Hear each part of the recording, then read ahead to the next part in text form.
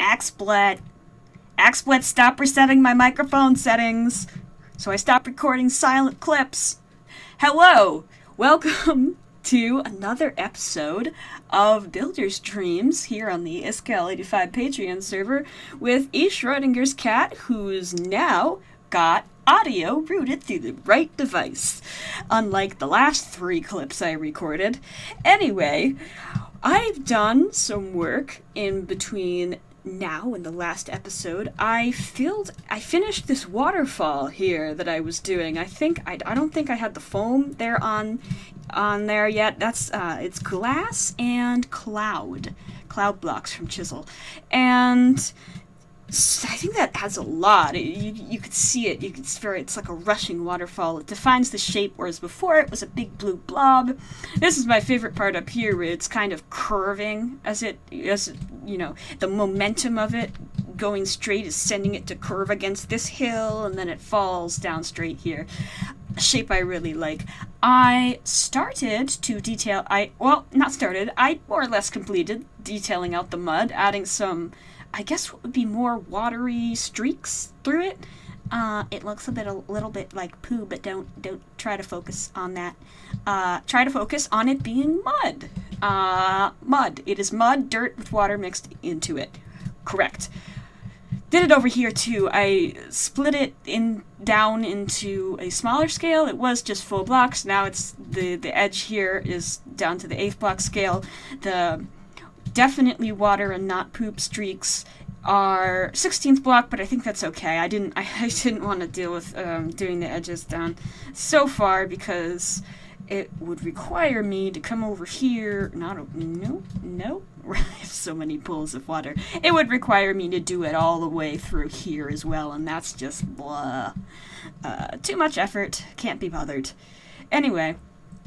The last, the last couple details over here is I took the terrain down to a half block scale, started to add a little more shape, and I don't think I'm going to go any smaller on that scale because it's there's so much to do. It would take so long, and I think it there would be too many surfaces. It would be too busy.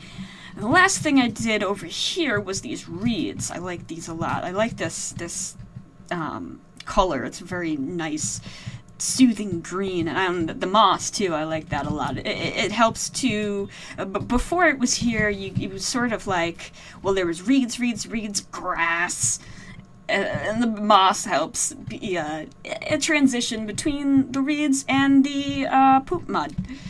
So today I think I'm going to work over here and try to get a little village worked out. I don't entirely know how many buildings I'm going to be able to fit in here because I want a road to go here. Probably going to go up the mountain like that, excuse me. Um, so I'll probably have a building here, a building here, a road here, and maybe something along this side. I'll probably knock out some of this hill, but Anyway, this is a facade that I had started. I am... I have mixed feelings about it. I really like this inside design here. That's this asymmetrical swirly design. It's asymmetrical because... And don't tell anyone this. This over here is one, two, three, four. This over here is one, two, three, four, five, six. Whoops. But I think that disguises it. Let me know if it's effective, but I think that works out. This needs more detail. It's very, just very not broken up enough, but when I added details such as these, it kind of looked too sci-fi. Uh, not necessarily the worst thing, but not really the style I'm going for. So right, so the next thing that we need to do is add a walls going back this way and add more of a roof to this thing. So I'm going to do some planning and get back to you. Did I say anyway enough times in that last clip? Whoo boy. Well, I think I've improved my talking a little bit in the realm of not so many ums, but boy, is it weird to record yourself and hear yourself speaking and the, and the phrases and the idioms that you use. it's it's such a bizarre experience that oh man and it's super hard to monitor the way that your speech sounds while you are on camera because you're thinking about what you're doing in the game and you're thinking about you know what what are you going to say next? You, you can't stop talking. You can never stop talking. There can't be silence at, at least in my opinion. When i watch other people's videos and decide what i like to do what i like from those videos i feel that when there's silence, it gets boring. So I, you know, there's this constant pressure to be continuing talking, and I'm not particularly good at that, at non-stop talking. Hi, Val. Well, so, if you'll probably notice that sometimes I don't finish sentences, I repeat words, I say words that are wrong, and that's primarily because I'm just trying to make my brain push out words no matter whether or not they make sense.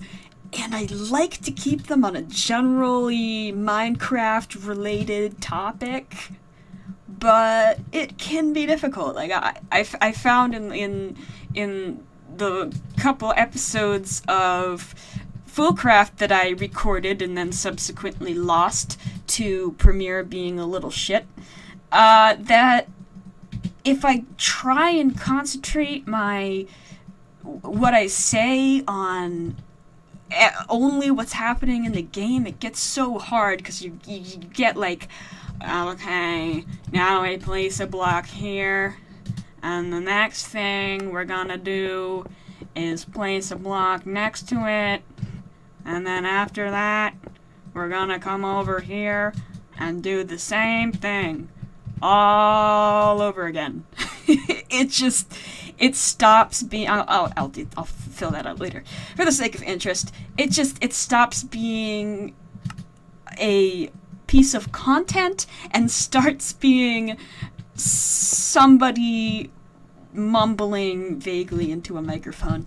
So again, you know, it, there's there's going to be a process of me figuring out this. Nope. Okay. It's gonna be a process of me figuring out how to not sound like a total, total dumbass on camera. Uh, let me know what is annoying and what is not annoying because I, I can tell from feedback. I mean, not feedback. Well, okay, let's start that over. Speaking of uh, sentences that stop and start and go all over the place, I can sort of judge based on watching videos, mm, you know, monkey see, monkey do, but that's not all all of what you really need to be good at something. You know, there's you need feedback to get better at stuff, and that is oh, oh right two over. Anyway, you you you really do need feedback from the people around you, and I and I mean honest feedback, to become better at something, and that's in general why I encourage constructive criticism, so long as it's not just you suck. Like, I want to know if you think I suck. I want to know why you think I suck in a way that will be productive and help me not suck so much.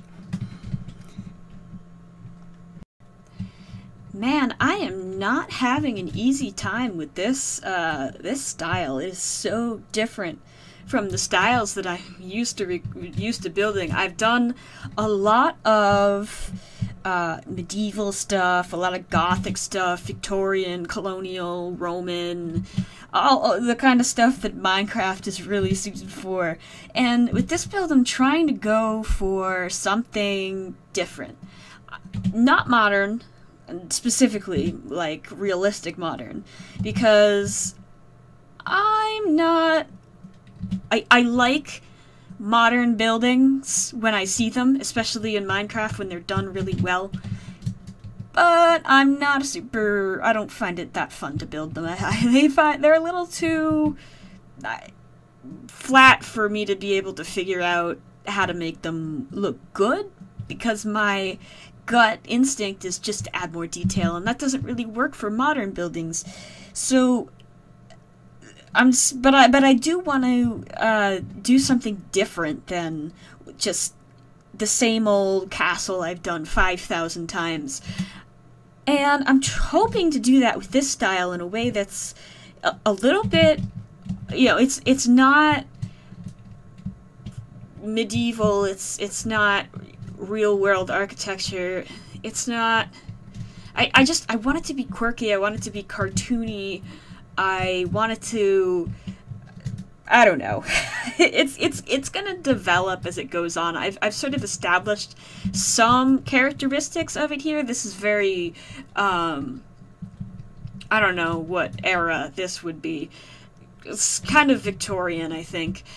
And I've also, yeah, this is, this is pretty Victorian, but I, but I'm starting to to break. and I I have this sort of rustic path over there. I have the natural uh, terraforming, but uh, with these buildings, I'm going to try and define a, a more unique style than typically I would use. Uh, this roof looks super terrible. Um, I try. I'm trying to. I tried adding that strap. It does help. Um, whoop. Don't mind if I blow into my microphone a little bit. Anyway, um, let's see if I bring. Nope, that's the wrong material. Let's see if I bring this material down like so. Um, I think it's it's very difficult to try and do something that you've never done before, especially in a YouTube format, because you're expected to do something and deliver a product that is good. And when you're trying something new, you're taking a lot of chances.